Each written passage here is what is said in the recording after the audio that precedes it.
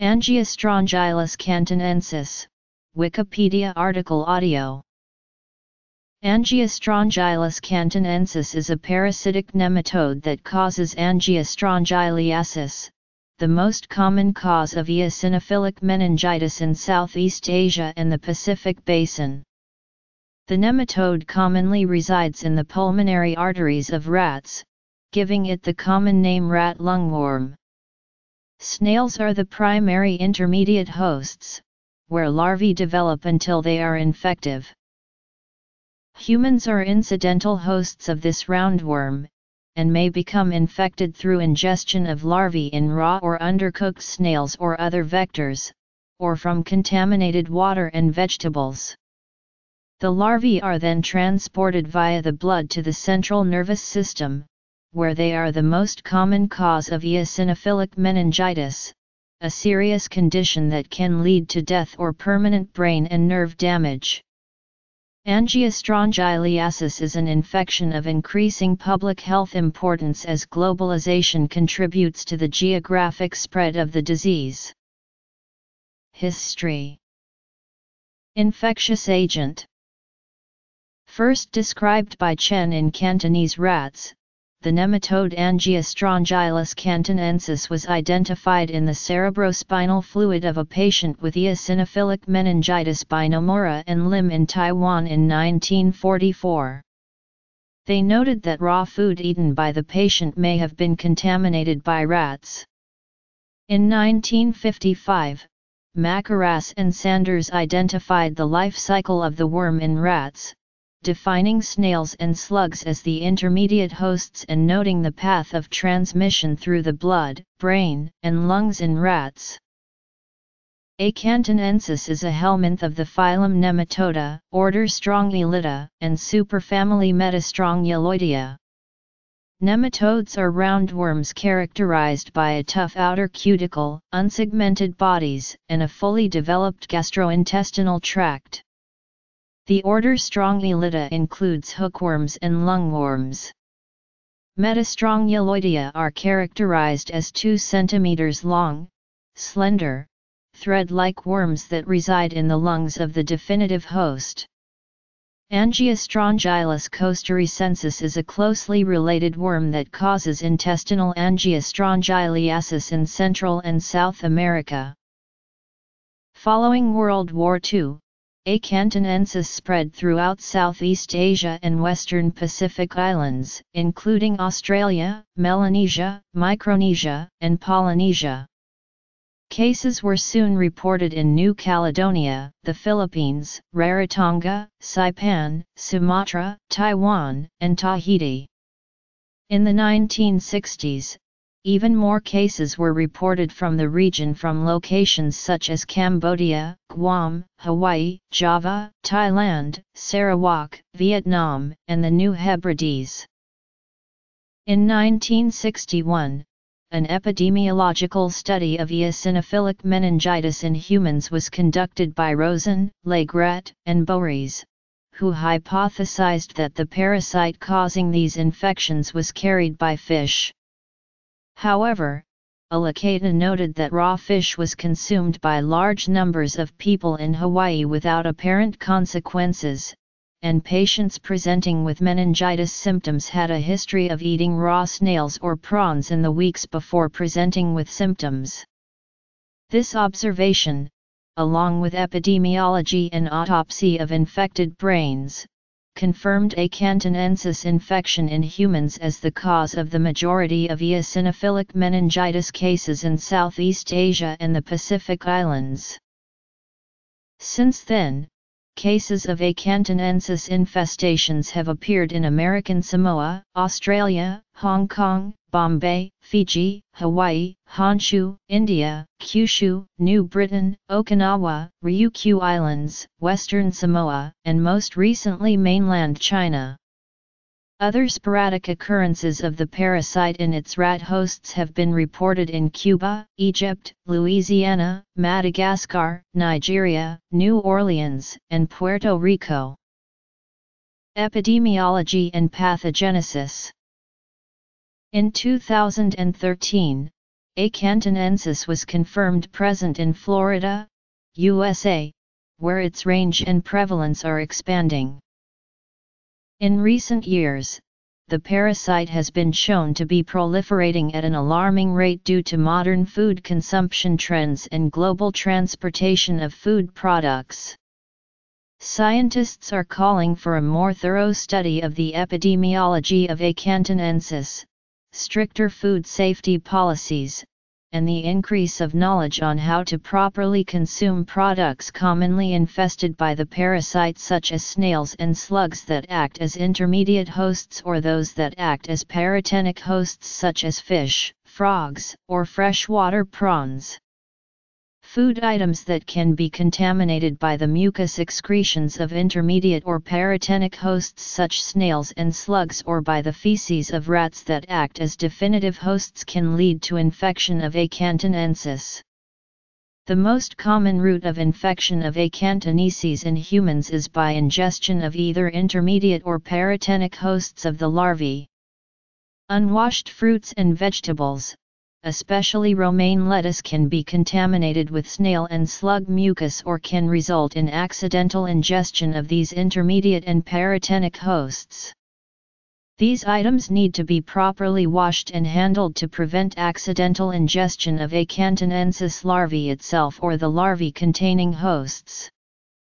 The best mechanism of prevention of A. cantonensis outbreak is to institute an aggressive control of snail and slug population, Proper cooking of intermediate and paratenic hosts such as fish, freshwater prawn, frogs, mollusks, and snails along with proper food handling techniques. The common prevention techniques for diarrheal illness is very effective in preventing A. cantonensis infection. Not much is known about why it targets the brain in humans, but a chemical-induced chemotaxis has been implicated recently. Acetylcholine has been previously reported to enhance motility of this worm via nicotinic acetylcholine receptors. Experimental assays in animal model are needed to validate a chemical-induced chemotaxis by use of anticholinergic drugs to prevent cerebral infection following infections by A. cantonensis. Hosts Intermediate hosts of larvae of for A. cantonensis include Definitive host of Angiostrongylus cantonensis include wild rodents, especially the brown rat and the black rat. Paratenic hosts of Angiostrongylus cantonensis include predatory land flatworm Platydemus manokwari and amphibians Bufo asiaticus, Rana catesbeiana, Rhacophorus leucomystax, and knockeraus.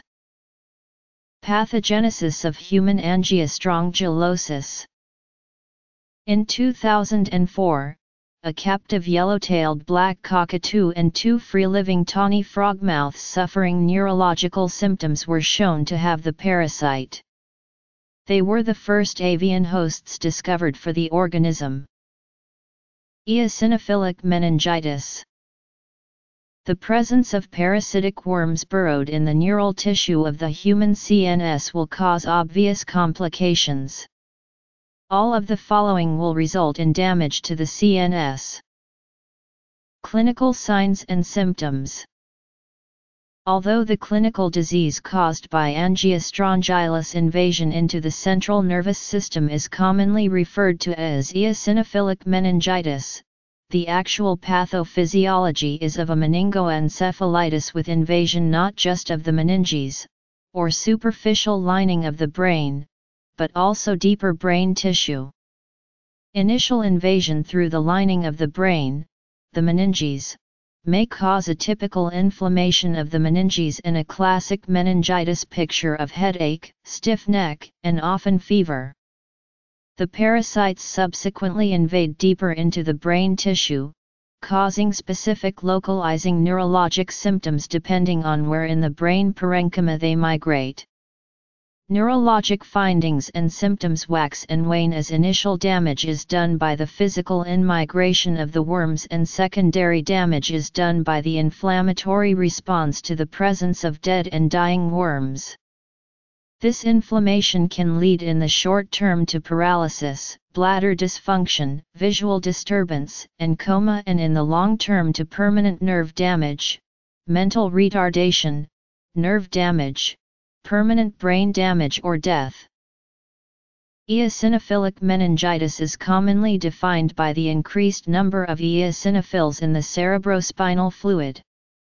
In most cases, eosinophil levels rise to 10 or more eosinophils per ml in the cerebrospinal fluid, accounting for at least 10% of the total CSF leukocyte count. The chemical analysis of the CSF typically resembles the findings in aseptic meningitis with slightly elevated protein levels, normal glucose levels and negative bacterial cultures. Presence of a significantly decreased glucose on CSF analysis is an indicator of severe meningoencephalitis and may indicate a poor medical outcome. Initial CSF analysis early in the disease process may occasionally show no increase of eosinophils only to have classical increases in eosinophils in subsequent spinal fluid analysis.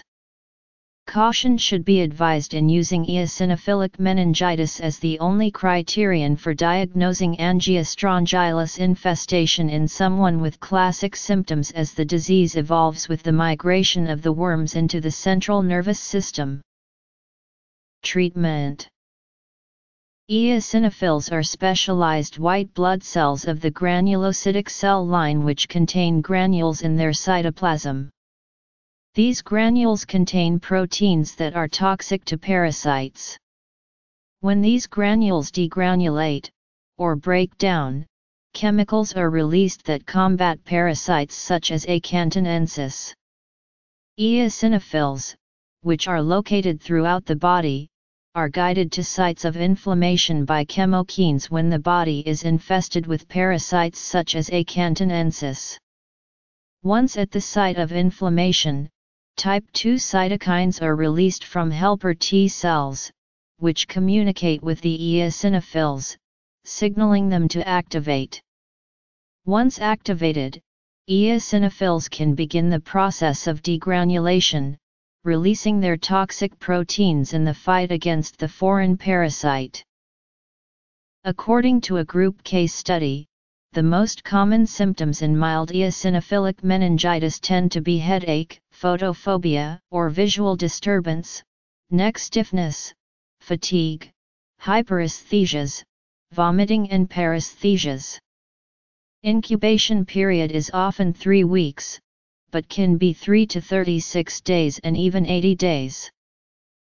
Possible clinical signs and symptoms of mild and severe eosinophilic meningitis are as follows.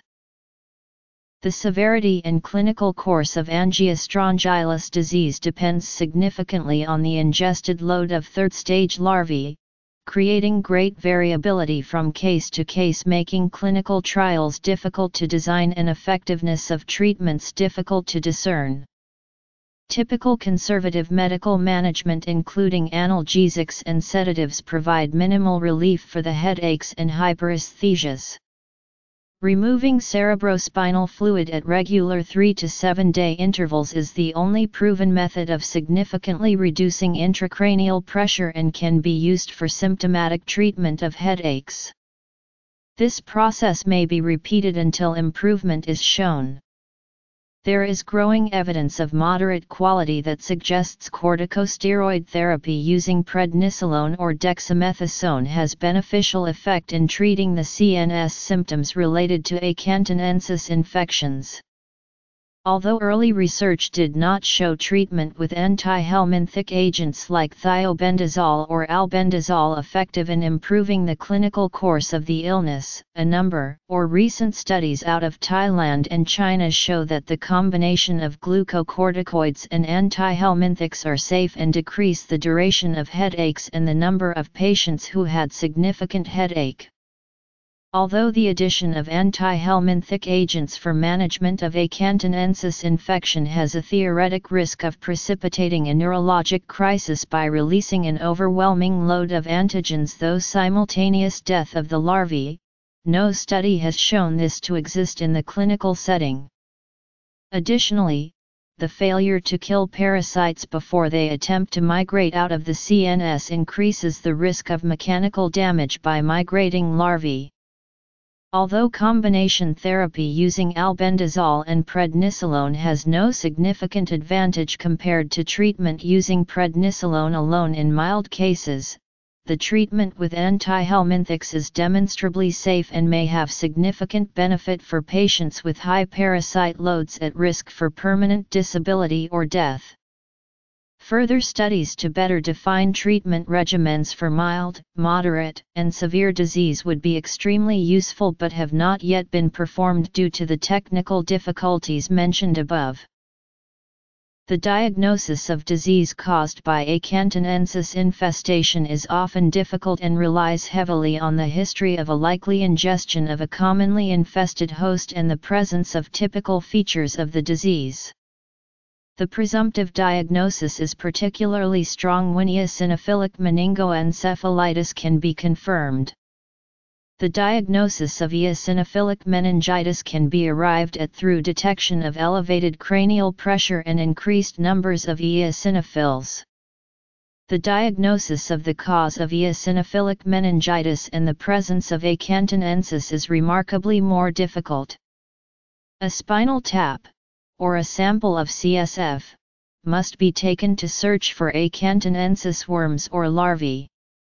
A. cantonensis is undetectable in the CSF of more than half of the infected individuals. Current methods of detecting specific antigens associated with A. cantonensis are also unreliable. Consequently, alternative approaches to detect antigen-antibody reactions are being explored, such as immuno-PCR. A rapid dot blot ELISA test is also available for quick, effective, and economical on-site diagnosis of A. cantonensis. Diagnosis. Angiostrongylis cdc.gov Centers for Disease Control and Prevention. December 28, 2015 Retrieved April 4, 2017. Land snails, Thelidomus aspera from Jamaica, Pleurodont sp from Jamaica, Sagda sp from Jamaica, Poteria sp from Jamaica, Achatina fulica, Satsuma mercatoria, Acusta despecta, Bradybaena brevispira, Bradybaena circulus Bradybaena ravida, Bradybaena similaris, Plectotropis appanata, and Parmarion martensi from Okinawa and from Hawaii, Camaena cicatricosa, Trichochloridus rufopila, Trichochloridus hungerfordianus and Cyclophorus species, freshwater snails, Pila species, Pomacea canaliculata.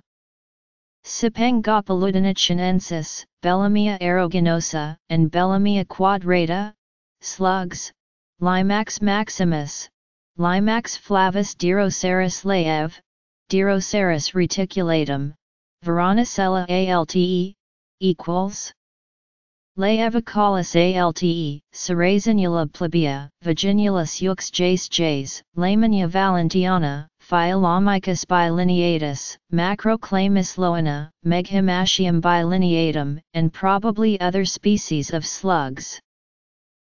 Fever is often minor or absent but the presence of high fever suggests severe disease, headaches, progressive and severe, a bitemporal character in the frontal or occipital lobe, meningismus, neck stiffness, photophobia, sensitivity to light, muscle weakness and fatigue, nausea with or without vomiting, paresthesias, tingling, prickling, or numbing of skin, may last for several weeks or months, hyperesthesia, severe sensitivity to touch, may last for several weeks or months, radiculitis, pain.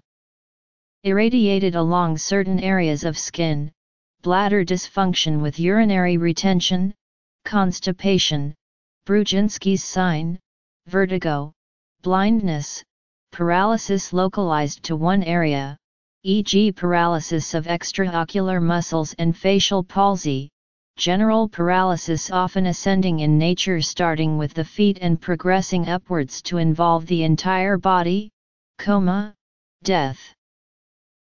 DPDX, Angiostrongyliasis. CDC October 17, 2016.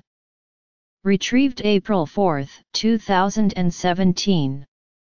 Tabs for parasite biology, image gallery, laboratory diagnosis, and treatment information, Angiostrongylus cantonensis at the U.S. National Library of Medicine Medical Subject Headings, Sydney Morning Herald Story of Human Infection, Example of Angiostrongylus cantonensis Human infection, hard to swallow, slug-eating dare causes rare disease, Angiostrongylus cantonensis on the UF-IFAS featured creatures website.